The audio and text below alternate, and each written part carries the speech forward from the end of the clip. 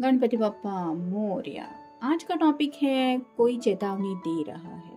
तो आपको आपके इंट्यूशंस फॉलो करने हैं।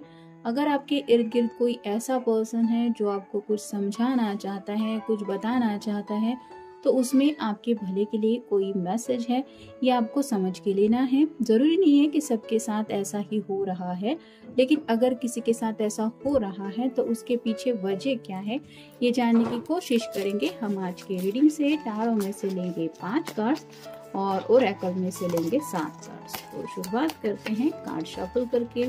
ओरेकल के लिए आज लेने वाले हैं हम मोनोलॉजी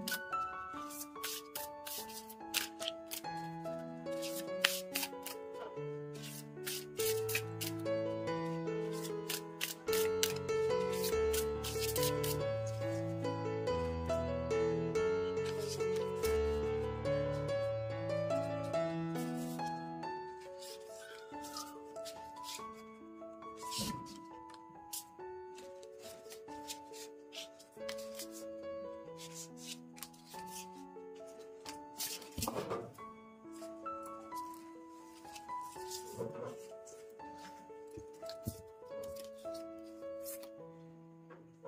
पहला ही कार्ड है king of cups water sign Cancer Scorpio या फिर पासिस जैसे यहाँ पे ये पर्सन है इसके हाथ में कांच का कप है जो रिप्रेजेंट करता है इसके जज्बातों को। तो शायद आपकी ज़िंदगी में कोई ऐसा पर्सन है जिसको अपने जज्बात बताना नहीं आता या आपके पेरेंट्स में से भी कोई हो सकता है या आपके वेल विशर में से भी कोई हो सकता है आपके फ्रेंड सर्कल में भी कोई हो सकता है या आपका लवर भी हो सकता है।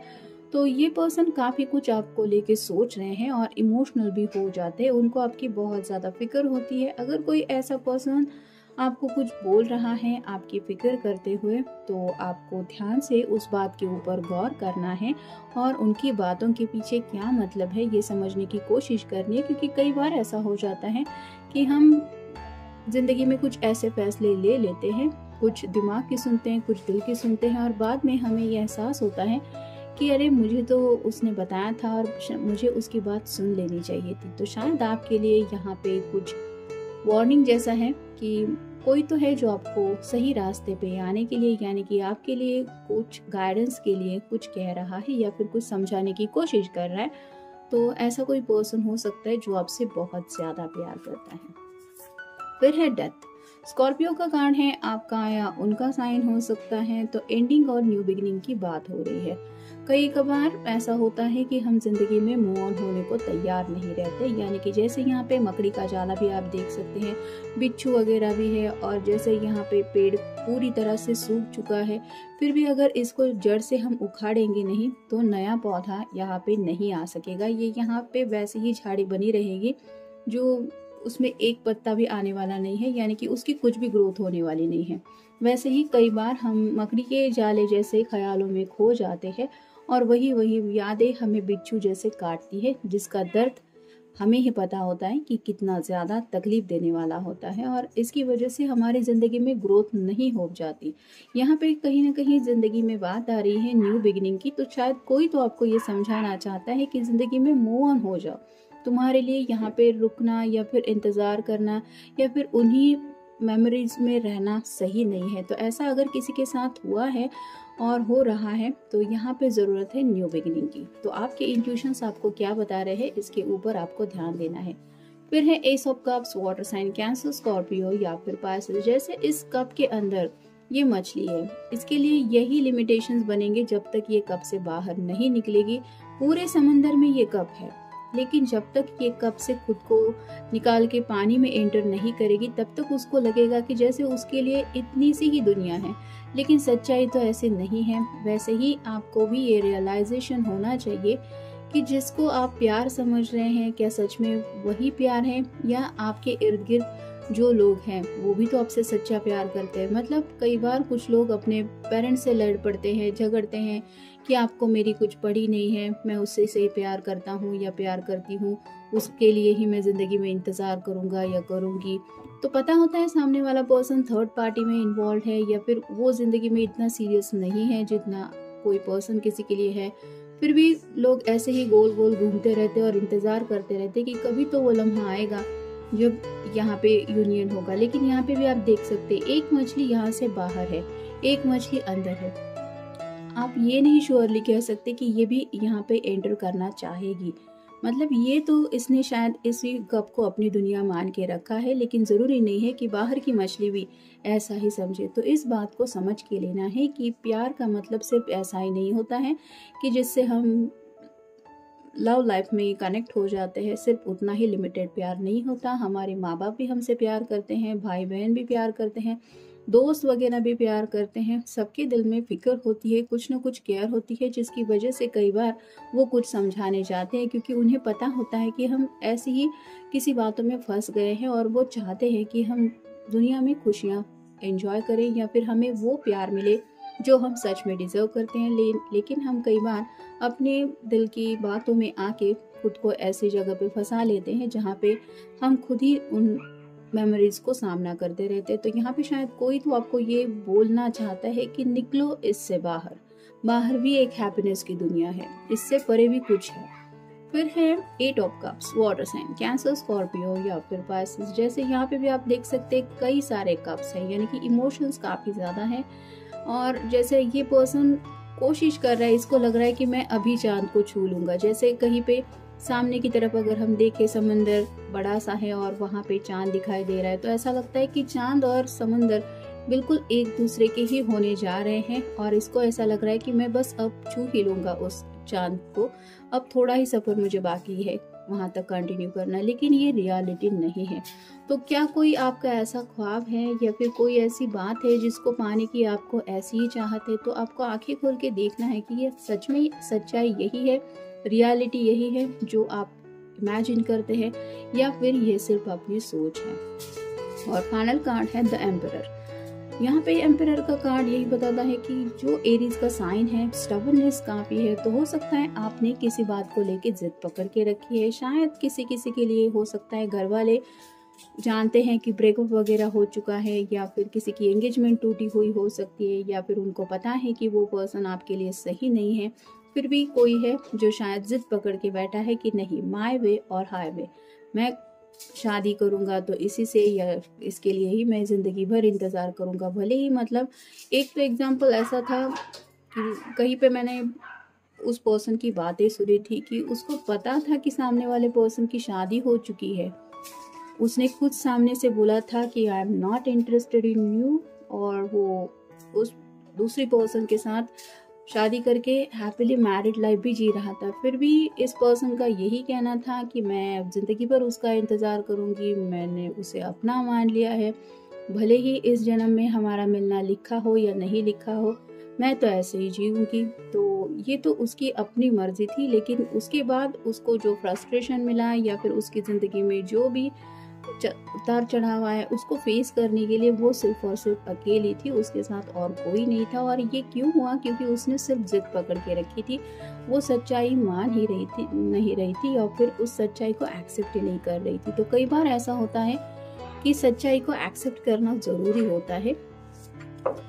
अब देखते हैं बाकी के कार्ड्स क्या बताते हैं। Your commitment is being tested तो कुछ लोग यहाँ पे हैं। जो कमिटमेंट इशू में फंसे हुए हैं, यानी कि आपने तो सामने वाले पर्सन को शायद कमिटमेंट दिया है, या फिर उसको अपनी ज़ुबान से बोल के आपने बोला होगा कि मैं तुमसे, तुम्हारे अलावा किसी और के बारे में नहीं सोच सकता या नहीं सोच सकती। लेकिन क्या ये कमिटमेंट उसकी तरफ़ से भी है? मतलब क्या ये उसके लिए इतना ज़्यादा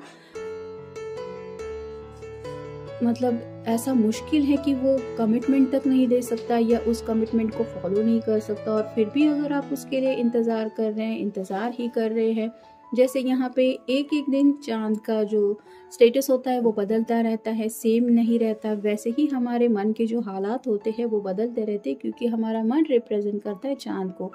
तो ऐसे क्या सच में उसको आपके दिल की पड़ी हुई है? क्या उसको पता भी है? एहसास भी होता है कि आपके दिल के ऊपर क्या गुजरती है? इस बात को आपको खुद सोचना पड़ेगा। लेकिन अगर कोई है आपके इर्द गिर्द जो आपको समझा रहा है कि दिस इज़ नॉट लव वो पर्सन आप, आपके लिए सही नहीं है, या फिर जैसा आप उनके लिए सोचते हैं वैसा नहीं है तो ये आपके लिए शायद चेतावनी हो सकती है। नेक्स्ट है it's time to release negativity तो कुछ लोगों के इर्द गिर्द काफ़ी ज़्यादा निगेटिविटी है, यानी कि कुछ लोगों ने माइंडसेट ही बना के रखा है कि लोग तो है जो ऐसे ही बोलते रहेंगे या फिर लोगों का काम ही होता है कुछ ना कुछ रूमर्स फैलाना। तो ऐसे लोग तो इर्द गिर्द होते ही हैं, लेकिन कई बार ऐसे लोग होते हैं कि जो सच्चाई भी सामने लाते हैं। तो निगेटिव लोग अगर कुछ है भी तो उनकी बातों में सच्चाई कितनी है और वो झूठ कितना बोल रहे हैं, ये भी आपको आँखें खोल के देखना पड़ेगा, क्योंकि कहा तो यूँ ही नहीं जाता कि प्यार अंधा होता है। तो ऐसा ना हो कि प्यार की पट्टी बंधी हुई है आँखों के ऊपर और फूल की एनर्जी में जैसे आगे ही बढ़ते चले जा रहे हैं, बेफिक्र होके और आगे रास्ता ही नहीं है। Next is the end of tough cycle approaches तो शायद आपकी ज़िंदगी में कोई मुश्किल दौर है जो ख़त्म होने जा रहा है, शायद आपके दरवाजे पे आप नॉक महसूस करते होंगे, यानी कि कहीं ना कहीं आपको ये रियलाइजेशन होता होगा कि ज़िंदगी में कोई शायद नया फ़ेज़ स्टार्ट हो सकता है। जैसे अगर आप किसी के लिए इंतज़ार कर रहे हैं काफ़ी वक्त से और वो पर्सन आपको अभी भी कमिटमेंट नहीं दे रहा और ऐसे वक्त में आपके लिए कुछ अच्छे रिश्ते भी आ रहे हैं या फिर कुछ अच्छा फ्रेंड सर्कल है जो आपको कुछ करियर से जुड़ी बातें बता रहा है, कुछ अच्छे लाइफ की बातें बता रहा है तो ये आपके लिए एक अपॉर्चुनिटी है। आपके लिए एक नई साइकिल जैसे यहाँ पे स्कॉर्पियो का भी कार्ड आया था एंडिंग और न्यू बिगनिंग का, और उसके बाद ये कार्ड आया है न्यू साइकिल का।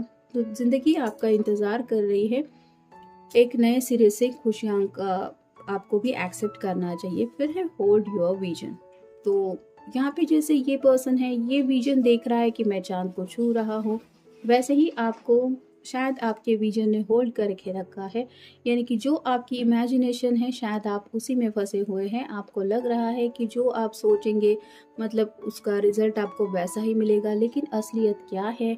कई बार हमारे इर्द गिर्द जो लोग होते हैं, वो हमारे फ़िक्र हमसे ज़्यादा करते हैं, जिसकी वजह से उन्हें भी इंट्यूशंस मिलते हैं और वो ऐसे फैसले ले लेते हैं कि नहीं, हम अपना डिसीज़न नहीं बदलेंगे।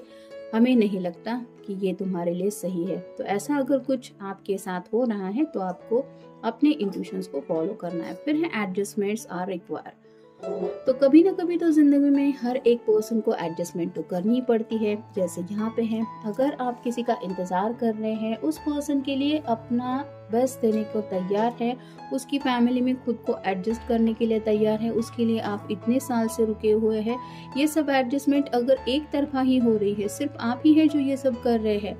सामने वाले पर्सन की तरफ़ से एक स्टेप भी नहीं वो ले रहा तो आपको सोचना है कि क्या ये एडजस्टमेंट यहाँ करनी ज़रूरी है? मतलब ऐसे पर्सन के लिए जो आपके लिए कुछ भी नहीं कर रहा।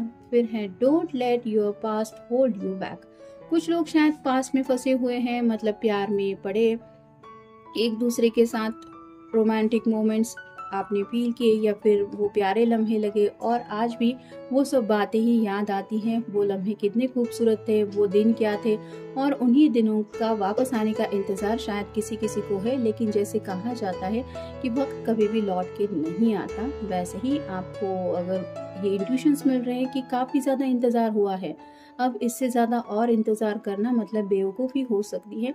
तो आपको ये सोचना है या फिर खुद को पूछना है कि आप रुके किस लिए है? मतलब सामने वाला पर्सन अगर मूव ऑन हो चुका है या मूव ऑन होने की तैयारी कर रहा है तो आप क्यों पास में अटके हुए हैं? इससे मिलेगा क्या आपको? और फाइनल कार्ड है कम्युनिकेशन इज़ द की तो आपके दिल में शायद कुछ ऐसी बातें हैं जो आपने शेयर नहीं की हैं, और शायद आपको भी कभी ना कभी कुछ ऐसा लगता होगा कि शायद मेरे लिए ये ऑप्शन सही है। तो ऐसा अगर कुछ है आपके दिलो दिमाग में चल रहा है कि जो आपको लग रहा है कि फ़ैसला लेने के जैसा है तो यहाँ पे ज़रूरत है कि आप अपने अपनों से कुछ डिस्कस कर सकते हैं। उस डिस्कशन से आपको एक चाबी मिल सकती है अपनी ज़िंदगी में आगे बढ़ने की और साथ साथ ही आपकी जो भी मुश्किलें हैं, दिलो दिमाग में चल रही, जो भी परेशानियाँ हैं, उनका भी सोल्यूशन आपको मिल सकता है। तो ये था आज का रीडिंग कि कोई आपको चेतावनी दे रहा है या देना चाहता है। तो ऐसा आपको अगर कोई बोल रहा है, आपकी फ़िक्र करते हुए तो आपको उनकी बातें सुन के उसके ऊपर गौर करना है कि आखिर ये पर्सन मुझसे ऐसा क्यों कह रहा है या क्यों कह रही है। तो ये था आज का रीडिंग मिलेंगे नेक्स्ट रीडिंग में।